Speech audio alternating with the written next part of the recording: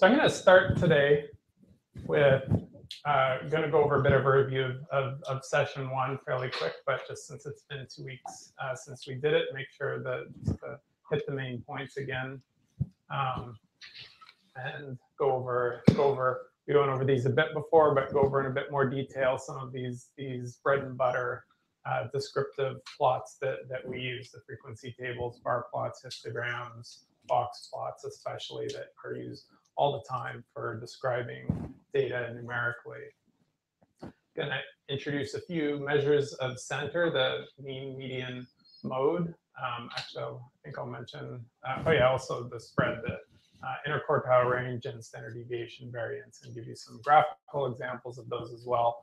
And even if you've heard of them, maybe give you a little bit better uh, intuition for, for what exactly it is they are. Let's start with a bit of a, a review. Um, the population and sample have, have special meaning in statistics. Um, and the population being the entire group of interest that includes all individuals or all, um, all records or observations or all possible records uh, that could be observed as part of a study. And then a sample is a subset of that population that, that um, we want to make using a systematic method and where every individual in the population has a known and non-zero probability of appearing in that sample. So it doesn't have to be an equal probability, but the probabilities have to be known and it has to be non-zero for everyone in the population. We're doing a lot of descriptive statistics these first uh, couple of couple of lessons um, both numeric summaries and visualization. This is a real part of statistics and, and how you should start looking at any data set that, that you start analyzing before doing any, any inference. Um, and then uh, finally, inferential statistics, which is what much of this course will be uh, about starting after uh, in the next uh, couple of sessions where we take our limited information from a sample and make inference about the entire population. So the variable is something we measure. It's something that uh, some attribute or property uh, that is reported for each of the individuals in the study. And we covered these, these um, main types of variables, the nominal variable, which included both binary two level and category that were categorical that are three or four, uh, three or more levels. Ordinal variables, which are um, uh, actually numeric, but they're just, the, it is the rank that is important. So they're still uh, not really numbers. They just, they're, they're like nominal variables, except that they have an order to them. And then we talked about discrete and continuous variables, which I put together here as quantitative variables because they often that distinction between discrete and continuous is not very important unless the numbers are very small, like one, two, three, four, five. Um, but what they have in common is that rules of mathematics apply. You can add them, you can subtract them, etc. They're, they're actual real numbers. So for the nominal and the ordinal data, um, we use frequency tables and bar plots. The frequency table is just a table that uh, lists the number of each of the categories that, that we have for a single variable. It's a, uh, um, a one row frequency table.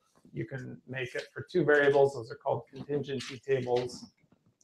Um, and the bar plot is just a, a graphical uh, a graphical presentation of the same thing. The pie charts, statisticians don't like, um, except this one. This is my favorite pie chart I've ever seen. Um, and it, it's uh, it gets gets right to the point. It's probably the most direct way of, of uh, presenting the, the data of how much pie I have eaten. But even there, I can't really tell what proportion of the pie this this is that I've eaten. I know that that I, have made a good dent in it, um, and that I probably can't share it four ways anymore. Um, but I can't really tell if that is I don't know six or forty percent or thirty percent, something like that. I don't know guesses. Thirty percent. Thirty percent? Okay, maybe. Um, I don't know. I guess here it was uh, it was 35 percent, and so this is a more quantitative but uh, more boring presentation of the same data. So sometimes the pie chart has a use. um, so just as an example, we have 40 students, four received an, an, an A. Uh, we can represent this as a frequency, which is the counts. That's what goes in those frequency tables. Proportions or relative frequency, that's a number between zero and one, and percentage is that multiplied by 100, so it's between um, zero and 100. And you can use any of those in your in your bar plots or in your frequency tables. In fact, it's pretty common to show both frequency and proportion or percentage in in tables uh, summarizing your nominal data. For quantitative variables, um, there are these three different, I mean, there are more than these, but these are some of the main ones. Uh, ordered here in order of from the most detail at the top to the most um, the most summarization at the bottom. So the dot plot actually shows every individual data point, and it often puts a little bit of jitter in it to uh, just keep them from overlapping on each other, but it's just a plot of all the individual data points. Uh, the histogram does some categorization first, converts your quantitative uh, data into an ordinal uh, into an ordinal variable so that you can order them on your your histogram and put bars. So it's like a bar plot for uh, for categorical data. And the box plot is a combination of qualitative and quantitative measures put in the form of this this uh, box and with whiskers. And the things that we look for in all of these are generally the central tendency where the middle of the plot is, the shape of it, including spread and skew, and the presence of outliers. So this is a dot plot. Um, and this one, uh, some binning has still been done to, to stack them on top of each other. So it's not quite, it's not exactly putting um, the original data, but you still see every individual data, data point. So it's like a histogram, just very detailed. The familiar histogram, note that, that so here this, this uh, weight data has been binned into um, about, let's see, these are about 12, there's three per 50, so there's about 20 or 17 pounds per bin. And so you've created all of these 17 pound bins and then counted the number of people in, in each one of those bins. So giving the frequency on the y-axis here. But that same data set can look very different depending on the width of the bins that, that you create. So very fine bins with just a few pounds in each one looks different than with with coarse bins. So this is this is it's important to remember it's a it's a summary of data and as and as necessary for any summary, there's some subjectiveness involved in it. And you could miss things or highlight things depending on how you how you choose to bin the data. There are always defaults in software, um, and they're usually pretty good defaults, but uh, there are cases where you can miss certain structure in the data using the default the default bins.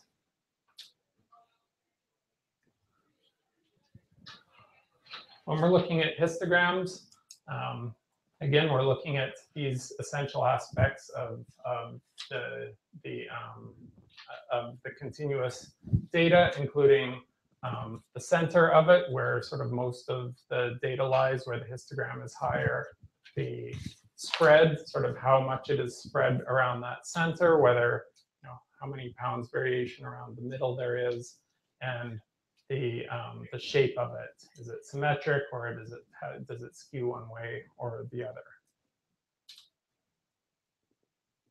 Symmetric distribution, of course, is one where if you put a mirror in the center, it looks essentially the same on both sides. And the left skew is one where you see a lot of uh, additional data over towards the left, a much longer tail, and right skew to the right.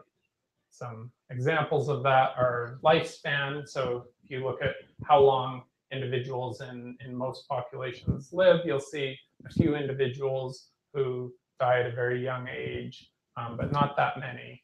And then you see a lot of people who die at about the same age here in the middle, and then people don't live very much longer than that. So that's a left skewed distribution. a very good example of a right skewed distribution is incomes, where you have, you know, you can only go down to zero, so there's not too much of a left uh, tail on there. And then you have a lot of people sort of at the lower end of the income distribution. And then a very long tail as you get up to um, university presidents and CEOs and, and things like that.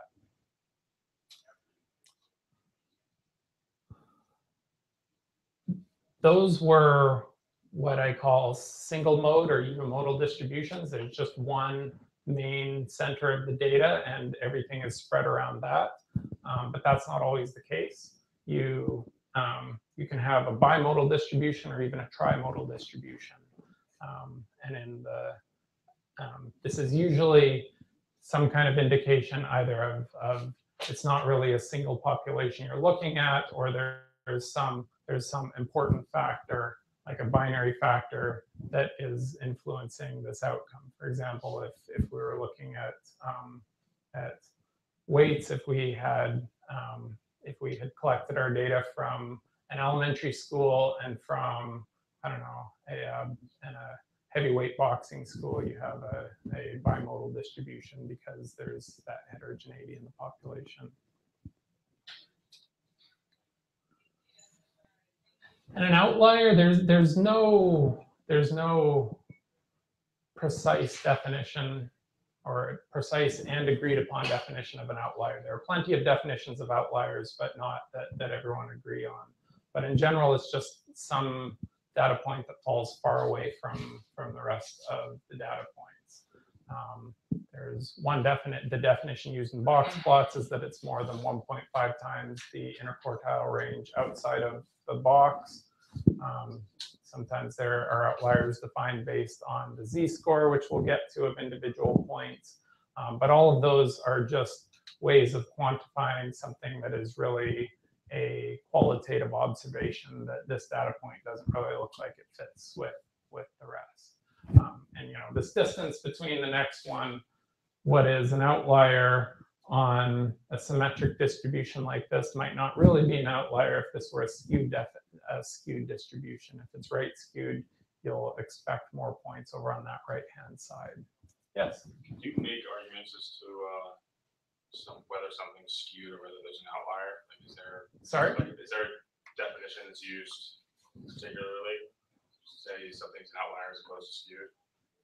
Are there definitions? Um, not really. I mean, there are tests of distributions. There are statistical inference tests to say, um, you know, to, to say whether something appears to, un, under a null hypothesis, come from a normal distribution, that you, you can devise tests of, uh, of symmetry by the, the fraction of, of points to the right and to the left of, of the mean you can, there are um, non-inferential tests of skew, such as the difference between the mean and the median. Um, but really, it's an obs it, it, it's an it's an observation. Like the the um, so one paper could say distribution skew, while another could say there's an outlier, or would they define that in the paper? most of the time it, would they would show a histogram and say there appears to be right skew. So um, there are measures um, of, of, of skew that you, that, that you can report. There's a skewness statistic that you can report.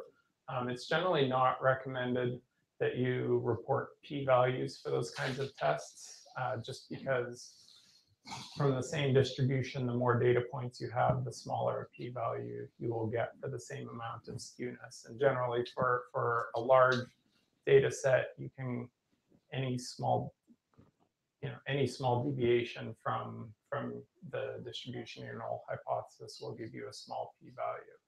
Um, so, so the, what, what I would recommend is showing the histogram, and then there are statistics called um, called skewness and kurtosis, which has to do with the the, um, the thickness of of the tails, uh, which which you can report if it is important to um, to, to your results to actually quantify the skewness.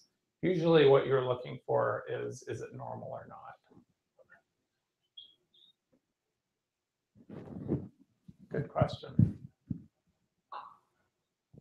Um, and as a note, it may or may not be justifiable to remove outliers. Outliers can be there because there was a problem in your data collection because someone wrote a one and it looked like a seven or something like that.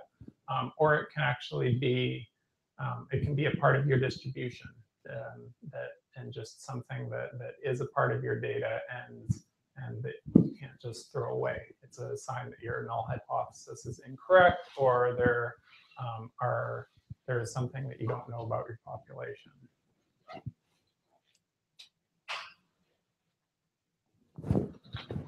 Just a reminder, you know, this box plot, um, it shows a lot of information on a single uh, on a single plot. So showing the density, the density line here, which is the probability of a continuous value taking values between any um, any range of the continuous variable um, with the with the box plot of it overlaid above. So you have this thick middle line at the median, the value where half are above and half are below.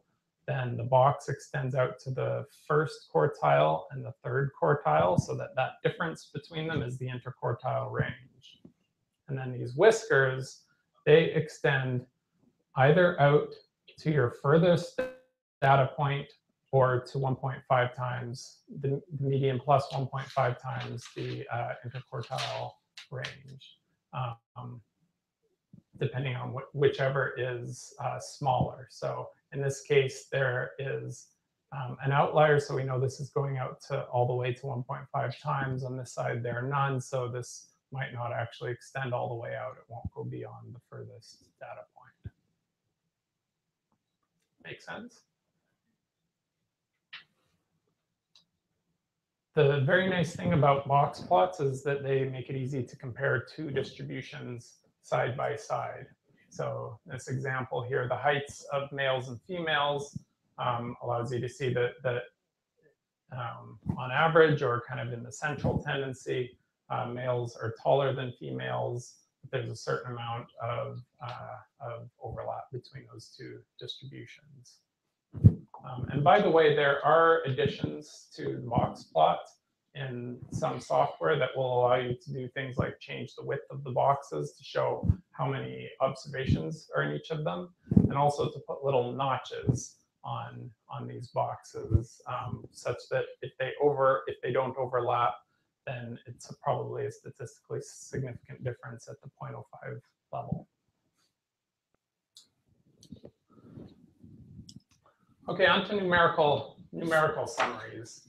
Um, here I'm talking about the central tendency measures, mean, median, mode, the um, measures of various different points in the distribution as quartiles, quantiles, and percentiles, the range, extreme values, and, um, and standard deviation, as well as some other measures of spread.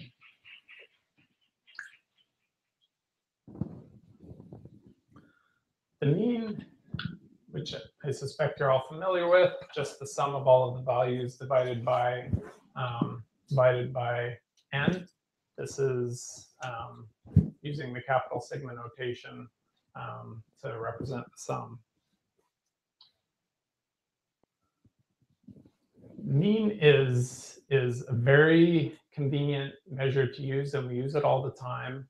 Um, but it is best in distributions where you don't have outliers and don't have um, strong skew because it is not resistant. It's affected a lot by outlying values.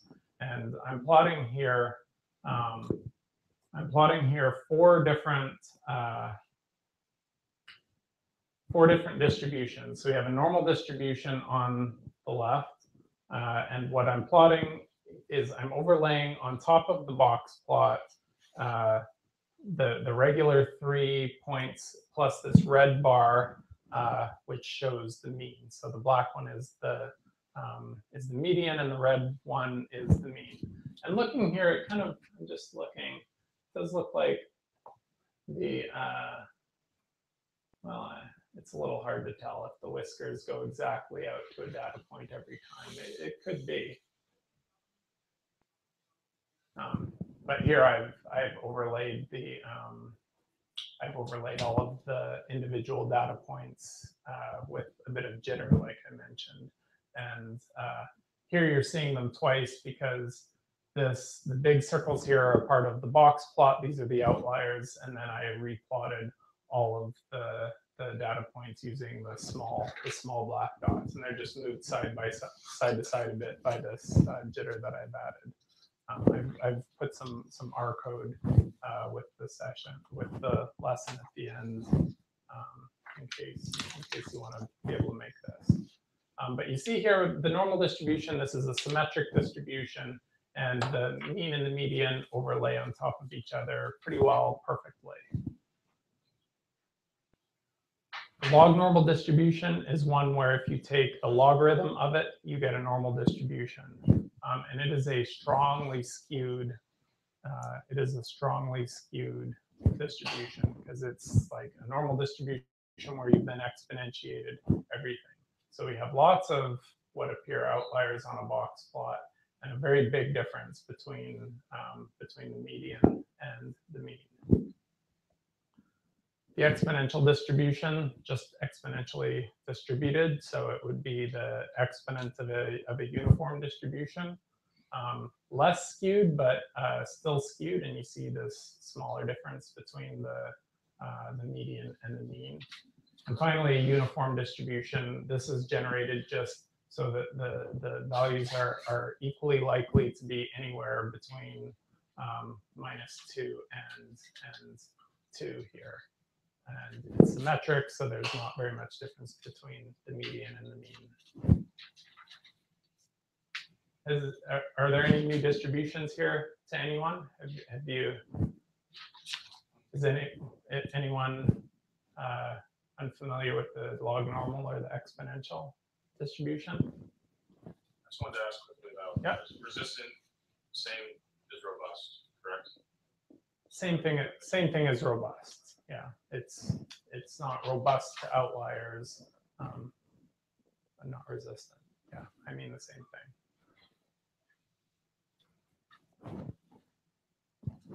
All right.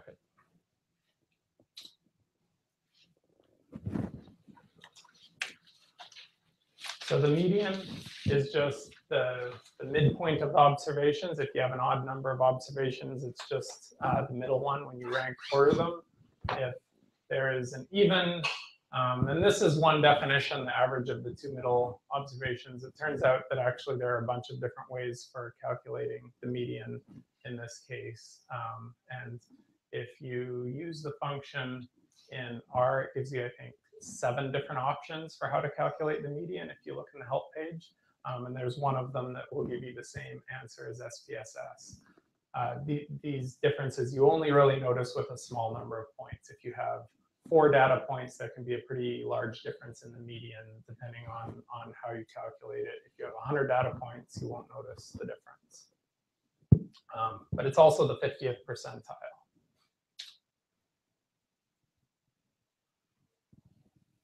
Just um, few examples here. One, two, three, four, five. The median is three. We replace the five with a billion. It's the same. So that's what I mean. It's very, res- it's resistant. It's robust to outliers. Um, and if we get rid of that five, it changes a little bit. It has to be somewhere between two and three. Um, my other favorite example for today, the seven dwarves, the median is just uh, right there. If we have them rank ordered in terms of height, it's the middle one. And if we replace one of them with a basketball player, it doesn't change the median at all.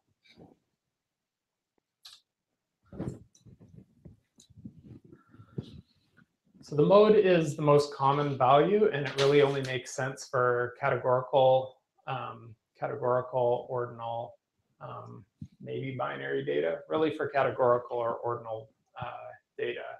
And when we talk about the mode, in a continuous distribution, it is entirely dependent on how the data are binned. So in this example, our mode is right here, whatever the second bar is. Um, but if we if we were to change the width of these bars, you could end up with a different mode.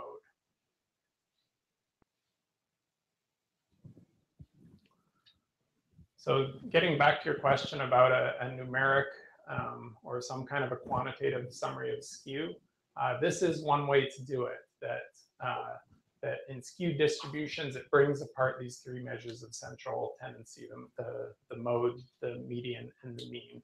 And a fairly common measure of skewness is the difference between the median and the mean. So if you have a mean that's larger than the median, it means you're right skewed. Your mean is less than the median, you're left skewed. And the more skewed it is, the bigger that difference is. Is there a number that they tend to use as far as that difference goes? Like I said, be proportional, depending on the time set is. Um, well, we'll have units, so so um, you know it'll be in the same units as whatever whatever you're measuring. But I don't think there's a number that above which you say it's a skewed distribution. Um, it, it that's better for comparative purposes. I think if if you're uh, you know if you have if you have a bunch of different distributions or something, you could order them by skew just just using using that difference. But that's not a statistic that I would probably report in a paper. That would just be exploratory.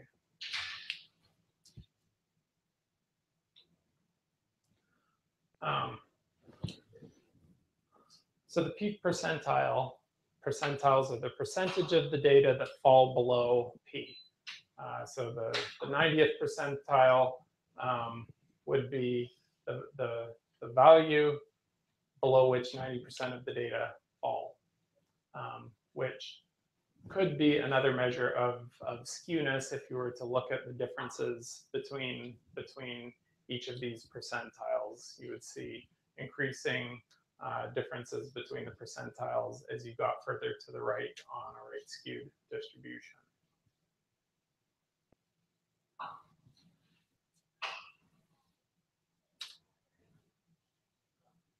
Quartiles are just special percentiles. They're um, the ones that split the data into four equal parts, the 25th, 50th, and 75th percentile. So the median is that second quartile, the 50th percentile, um, and the first and third quartiles are the ones below which 25% and 75% of the of the data fall.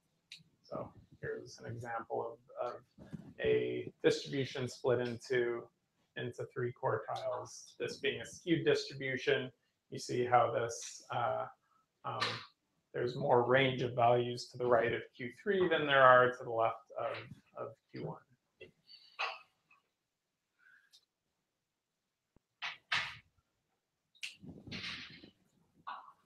Range, one more is one more uh, measure of spread, and it's just the difference between your most extreme values. It's the difference between your largest value and your smallest, uh, your smallest value. So it's a useful thing just for describing the total amount of variation in your data set.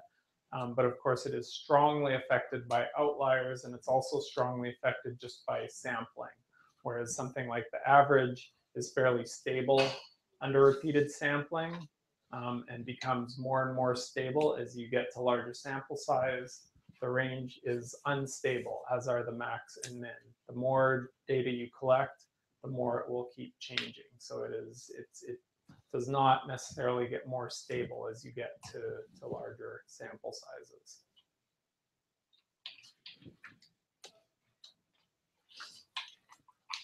So here the range would be difference between 25 and 100, um, so 150.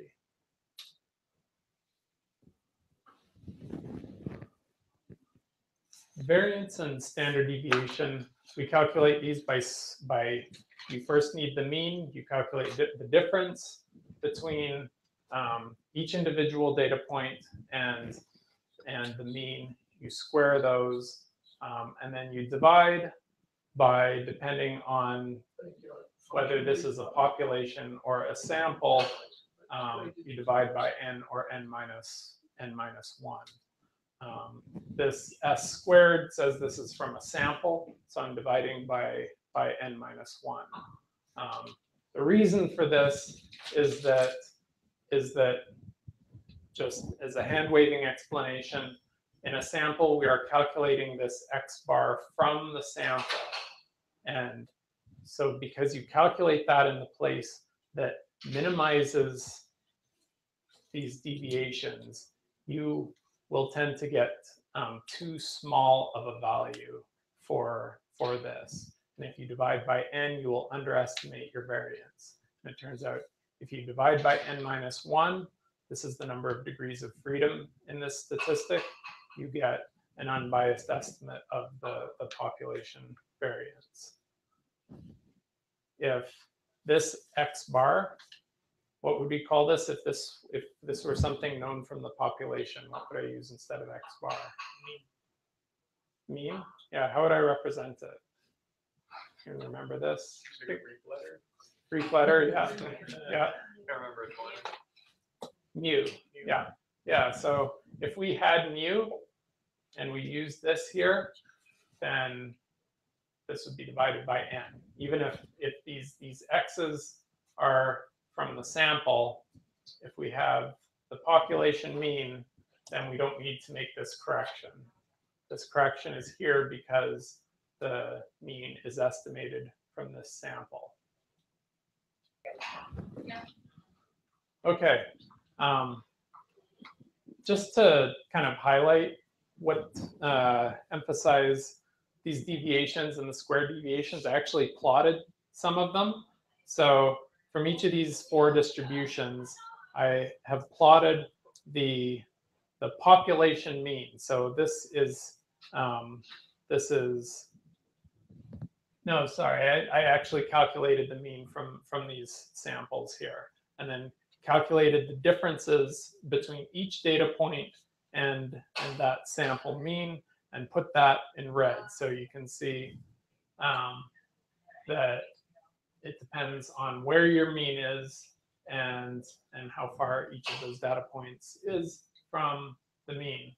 And it's positive or uh, negative except for the the um, for the log normal. Oh it, I, I just plotted each of these from from zero in in these two cases not from not from the mean so these are deviances and here are the squared deviations. So whereas here on the normal, the largest deviation is about two. Now it's up to over five, and you just see how how a lot of them are really small. And especially in this really skewed log normal distribution, most of the data points just look like right down around zero, with a couple of them really, really dominating these squared deviations. So, you know, this one data point here is contributing um, almost as much to the to the um, total deviations uh, in the log normal distribution as, as everything else uh, combined. Whereas in the uniform where there are, you know, the tails are perfectly flat, there isn't even, um, you know, it's a very compact distribution. You see there's that they're pretty well evenly distributed um, between between zero and three.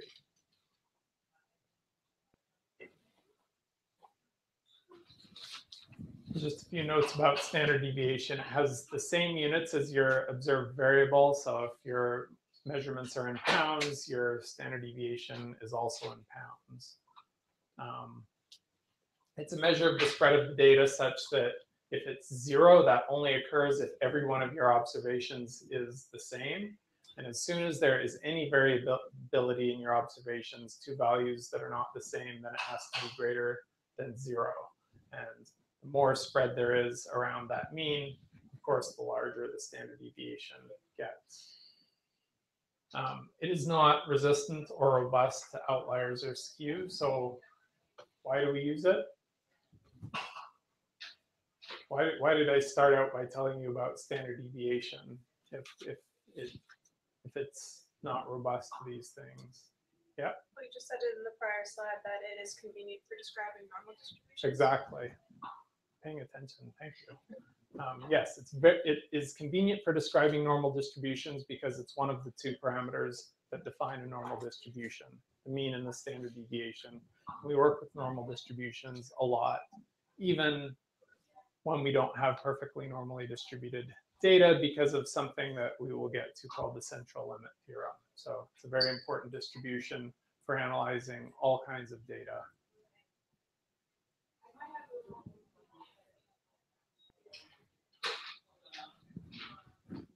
Um, on this one, I have added a little bit more decoration to that to that box plot. So before we had the um, we had the mean and the median, and then I've just added to this the mean plus or minus one standard deviation as the narrower red line, and plus or minus two standard deviations um, to uh, to to the plot.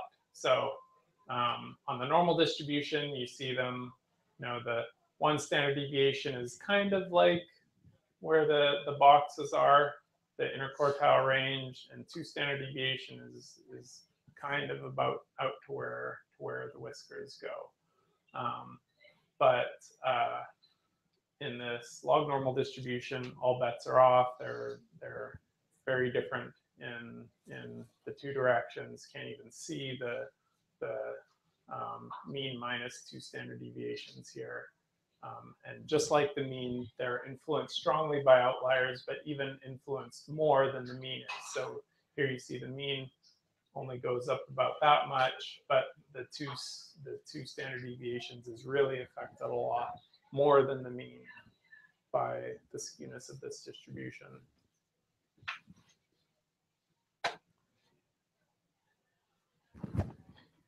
There's some alternative, more robust measures of spread, the interquartile range that I've mentioned, which is just the, the um, difference between those two, uh, the- width of the box in that box plot, the third minus the first quartile.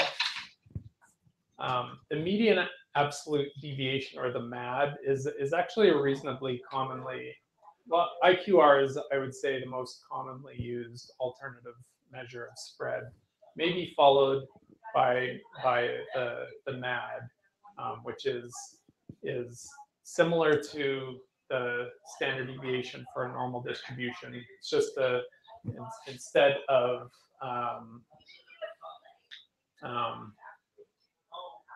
wait, this should be this should be squared here. Sorry. So it would be each individual observation minus the median.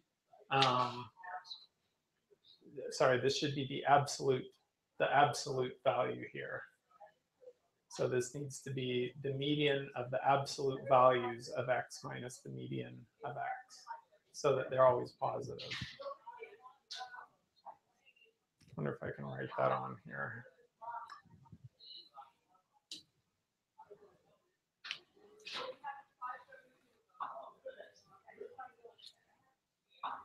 Hmm. No, I can't. So wait, I'm sorry, it's the median multiplied by that difference? Um, no, so you just for you calculate the median of all your data points, and for each individual, you take you take that observation minus the median, take the absolute value of that, and then the median of all of those absolute values.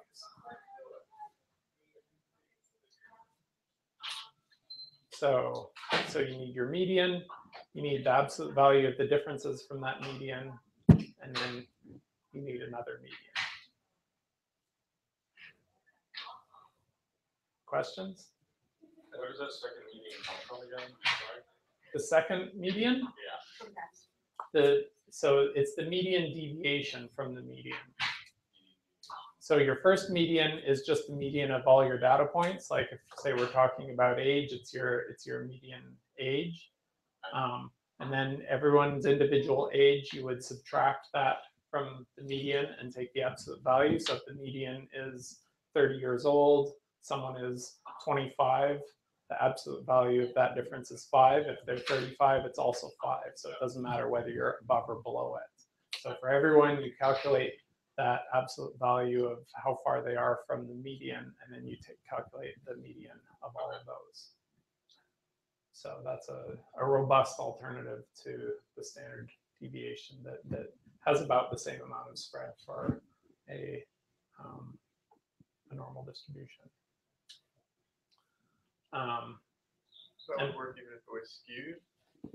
yep, it- so it It would be, it- it, it would, I mean, it would still be a bit affected, affected by skew because skew does, you know, if we look at, uh, here, you know, skew does still affect the median a bit, but it's much, much more resistant to skewness than, than the standard deviation. And yes, you could still use it for, um, for a skewed distribution. Of course, for a skewed distribution, um, any measure of, of spread isn't going to tell you the whole story. It's not telling you that you know there's more spread on the right side than on the left. It's a measure of spread around around the median. So you know it's a measure of spread around this point here. That's not exactly it. You know, it is one center of the distribution, but it's it's a partial story. If you have a skewed distribution, it would be better to use the MAD than a standard deviation to describe its spread.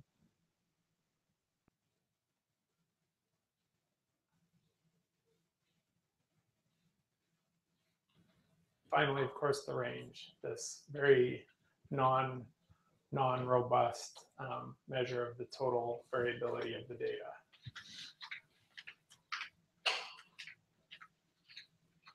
All right, just to, so you have it on your slides, a summary of all of the, the things that we have covered today that you should remember. um, Things that you should be familiar with before your first exam and that you'll go over in the assignments. Um, I did, by the way, put both these PowerPoint slides and a PDF, a four per page version of them uh, on Blackboard. And as soon as we have a um, an industrial type printer here, I'm going to start printing those notes and bringing them into class. Um, all right, I'm going to wrap up here. Any questions about uh, any of the stuff we've done today or about the class in general before I give you a little bit of a break and we go on to the lab?